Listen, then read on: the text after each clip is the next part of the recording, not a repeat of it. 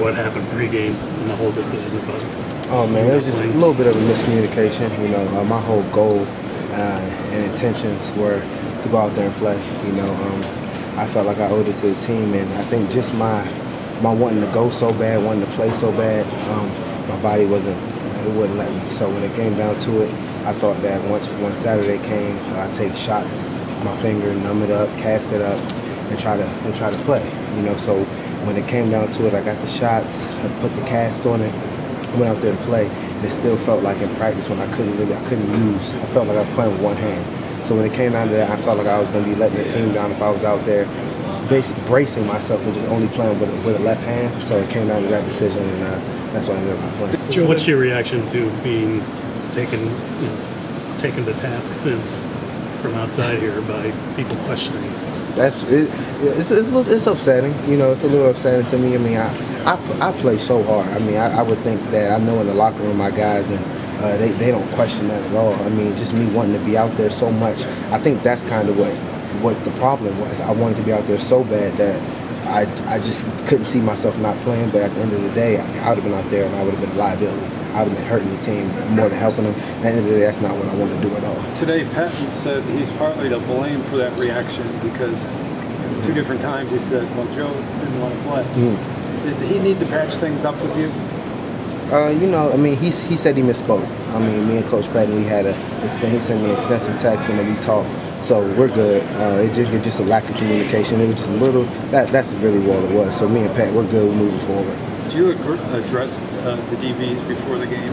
Oh, I, I, they, they already, I talked to them right before the game. Like, when I figured out I wasn't going to I walked up to walked up to Donte, talked to him personally, walked up to Karlos, talked to him personally, walked up to Kruger, talked to him personally, walked up to Tramon, talked to all of these guys. I walked up to each one of my teammates because my biggest thing is like for them to say Joe's not trying to play, that that really hurts because like I, have been in Cleveland for a long time. I mean, feeling like you got to prove yourself over and over, fight playing through injuries.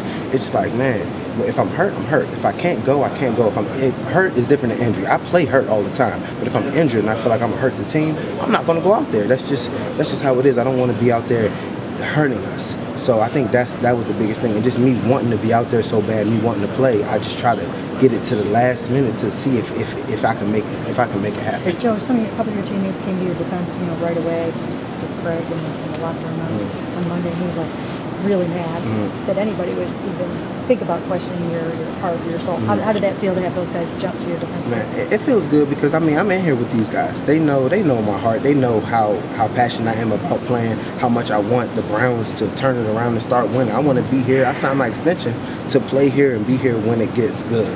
You know, so my whole thing is with me going out there like that it just it, it, hurt me because I know that's that's not the case at all. I want to be out there. I want to play, and for my teammates and all them guys to definitely, I know they have my back. And even when I found out the decision, walking up to them individually, letting them know, man, look, y'all know I got your back. I can't go out there and help y'all today because I'm just gonna, I'm not gonna be able to help you. You know what I'm saying? I'm gonna hurt the team. And just them knowing that, man, when I'm looking in each one of their eyes, letting them know, dude, my bad. You know what I'm saying? I'm gonna do everything I can to get back out there with you. Do you think the coaches in the, in, initially that day were a little oh man dismayed?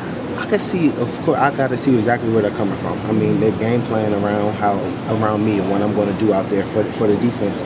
So uh, I could see definitely why. It's just kind of a kind of a curveball. I mean, I, I, they knew the whole week though my finger was down, but I think I just just the lack of communication just let them know like, coach, I'm messed up, but I'm going to see. I'm going to fight as much as I can until the to the last minute. Did you, you know you were uh, probable? I don't know the difference between probable, questionable, maybe not, maybe I'm going. I'm like, what the hell is the difference? Like, I'm hurt. I'm going to try to see if I can go. Like, probable, questionable. I have zero idea what the difference in any of that. Joe, Joe where's the finger stand? Where's the finger stand moving forward? Are you gonna be able to play this week? I mean, that's the goal. I'm, that's the same thing. I'm working on it. I'm keep trying to get it better. I mean, I have it broken. It's broken. So I'm just trying to figure out how uh, wrapped it up, cast it up, and uh, figure that out. But I'm just coming into treatment every day, going day by day, trying to get it better.